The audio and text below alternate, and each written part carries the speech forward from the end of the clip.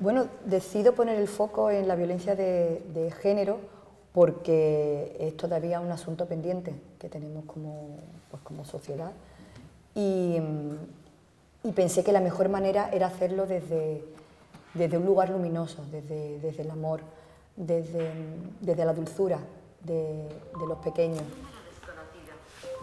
Mierda, perdón. Nada, nada. Mierda. Bueno, es que luego os digo no pasa porque... Nada. Ahora lo, esto luego lo... Sí, sí, ya está. Fuera. Ahí está. Perdón. Ah, te lo, lo eso y ahora... Ya está. Ya está. Hacerlo... Y la mejor manera era hacerlo desde, como digo, desde, desde, desde el amor y desde un lugar luminoso, ¿no? Y visto mmm, a través de los ojos de los pequeños, que son, la, que son esas otras víctimas mmm, que no tienen culpa de nada, que no entienden nada, que, y, que, y, que, están ahí presentes y absorbiendo toda esa energía.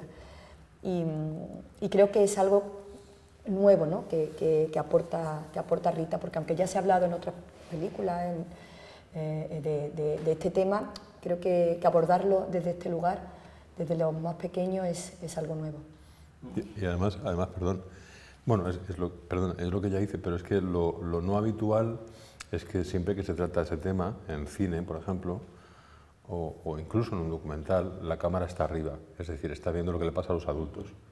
En este caso, por momentos está arriba, pero sobre todo está abajo, es decir, a la altura de los ojos y de las mentes de los niños, para que de alguna manera, ¿no? Digo, Total, de alguna sí. manera se conozca el, eh, la monstruosidad, por así decirlo, que provoca en esos, como decía Serrat, en esas personas bajitas.